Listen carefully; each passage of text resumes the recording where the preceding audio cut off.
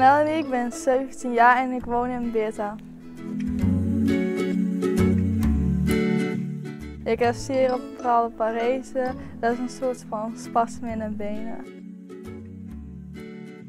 En dan uh, kun je moeilijk lopen en dan heb je last van je benen en van je knieën en van je rug.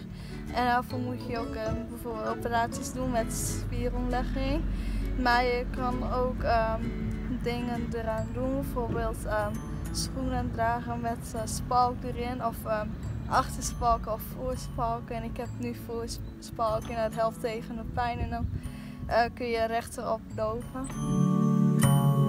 Ook altijd op hardlopen gezeten en op voltige en op dansen. Ik echt hardlopen begonnen en daarna mocht dat niet meer, dus ben ik gaan handbiken. Nu al drie jaar. Dus. Is de goede handbike uit kiezen, maar dat was best wel zwaar. Met uh, bochten en zo, daar kon ik nog niet zo goed.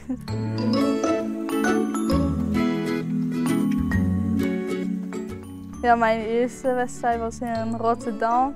Ik vond het best wel, was best wel zenuwachtig omdat ik niet echt wist wat me te wachten stond. Bij een wedstrijd moet je altijd een uur trainen. Bij ja, een uur die wedstrijd doen.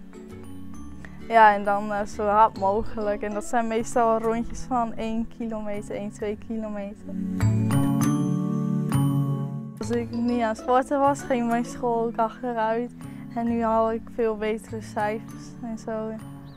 Meer conditie en zo. Wil laten zien dat uh, handbiken goed is voor, voor mensen met uh, een beperking en dat ze ook wat kunnen bereiken in hun leven.